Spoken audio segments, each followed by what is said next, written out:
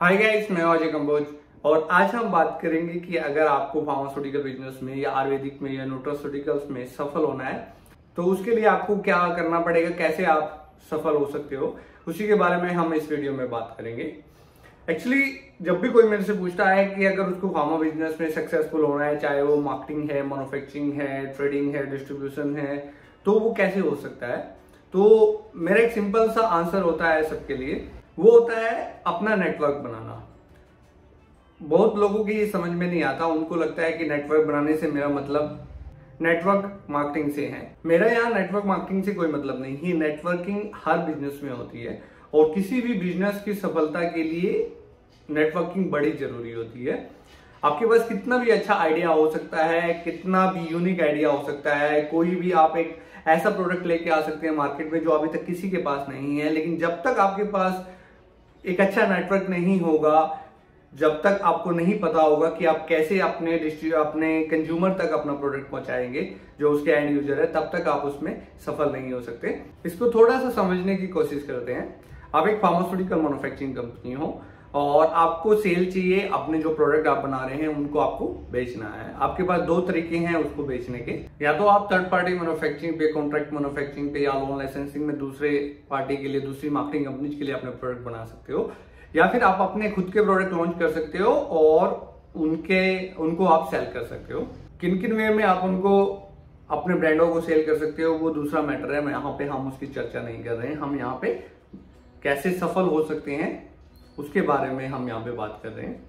तो दोनों ही तरीके में से अगर हम पहला तरीका लेते हैं कि आप दूसरी कंपनीज़ के लिए, दूसरी मार्केटिंग कंपनीज़ के लिए अपने प्रोडक्ट बना रहे हो तो आपके पास मार्केटिंग कंपनीज़ का एक नेटवर्क होना ज़रूरी है। जितने ज़्यादा आपके नेटवर्क में मार्केटिंग कंपनी होगी, जितनी ज़्यादा मार्केटिंग कंपनी आपसे अपने प्रोडक्ट बनवाएगी, जितने ज़्यादा ब्रांड आपके पास होंगे, जो आप दूसरों के लिए बना रहे हो, उतनी ही ज़्यादा आपकी स्टेबिलिटी होगी और उतनी ही ज़्यादा आपकी सक्सेस के चांसेस वहाँ पे बढ़ जाएँगे। अगर हम दूसरे वे में बात करते हैं कि आप खुद के ब्रांड लॉन्च करके अपनी कंपनी को स्टेबल करना चाहते हैं तो वहाँ पे भी आपको नेटवर्क की ज़रूरत होगी। आपके पास सेल्स टीम का नेटवर्क होना ज़रूरी है, आपके पास डिस्ट्रीब्यूटर्स का नेटवर्क होना ज़रूरी है, आपके पास डॉक्टर्स का नेटवर्क होना ज़रूरी है, आपके पास रिटेलर्स का नेटवर्क होना ज़रूरी है। तो ये एक आपके पास वहाँ पे भी एक नेटवर्क की ज़रूरत है, जिस तरह की मार्केटिंग में आप हो, उसी हिसाब से आपको अपना एक नेटवर्क तैयार करना है। और अगर वो नेटवर्क आपके पास नहीं होंगे और आप अपने जो एंड कंज्यूमर है, उस तक अपने प्रोडक्ट को नहीं पहुँचा पा रहे हो तो आप किसी भी बिज़नेस में फार्मा या किसी भी बिज़नेस में आप वहाँ पे कामयाब नहीं हो सकते। तो किसी भी बिज़नेस की सक्सेस के लिए, चाहे वो फार्मा है, आयुर्वेदिक है या कोई भी बिज़नेस है तो आपके पास एक प्रॉपर नेटवर्क आपके बिज़नेस मॉडल के हिसाब से होना बड़ा ज़रूरी है, आप अगर आप किसी बिज़नेस में सफल होना चाहते हैं।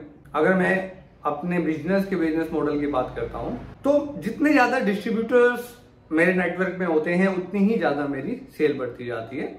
एक्चुअली डिस्ट्रीब्यूटर जोड़ना हमारा काम है तो जितने ज़्यादा डिस्ट्रीब्यूटर्स बढ़ते जाते हैं, कभी मेरे पास एक डिस्ट्रीब्यूटर था, कभी फिर दस हुए, फिर पचास हुए तो इसी तरह वो बढ़ते गए। जितने मेरे डिस्ट्रीब्यूटर बढ़ते जाते हैं, उतनी ही मेरी सेल ग्रोथ होती जाती है। तो जितना मेरा नेटवर्क फैलता जाता है, जितने मेरे नेटवर्क में डिस्ट्रीब्यूटर आते जाते हैं, उतना ही मेरा बिज़नेस ग्रो करता जाता है। अब बात आती है कि आप एक अच्छा नेटवर्क कैसे बना सकते हो? जब भी नेटवर्क बनाने की बात आती है तो वो इस चीज़ पे डिपेंड करते हैं कि आपको उस फ़ील्ड में मार्केटिंग की कितनी समझ है। जितनी ज़्यादा आपको मार्केटिंग की समझ होगी, उतना ही अच्छी तरह आप अपना नेटवर्क वहाँ पे बना पाएँगे। और जो मार्केटिंग की समझ है, वो आपको तब आती है जब आप अपने कंज्यूमर्स को जानते हैं। और आप अपने कंज्यूमर्स को तभी जान पाओगे जब आप उनके साथ काम करते हो, उस फ़ील्ड में आपने काम किया होता है। और क्योंकि आप कभी भी तैरना तालाब के बाहर बैठ के नहीं सीख सकते, आपको उसमें उतरना पड़ेगा।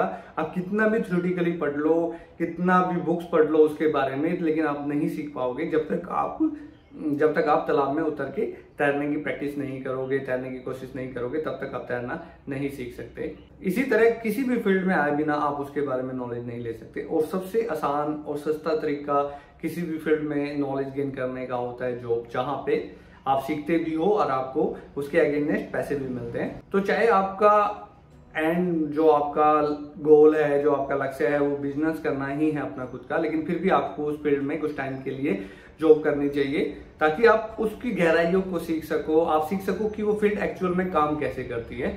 जब आप समझ जाओगे कि वो फ़ील्ड कैसे काम करती है तो आपकी मार्केटिंग की समझ वहाँ पे बढ़ जाएगी। और जब आपकी मार्केटिंग की समझ बढ़ जाएगी तो आपको पता लग जाएगा कि कैसे आपको अपने बिज़नेस मॉडल के हिसाब से अपना नेटवर्क तैयार करना है। तो जब आप अपना नेटवर्क तैयार कर लेंगे तो आप ऑटोमेटिकली बिज़नेस में सफल हो जाएँगे। उम्मीद करते हैं ये इन्फॉर्मेशन आपको अच्छी लगी होगी। Thanks for watching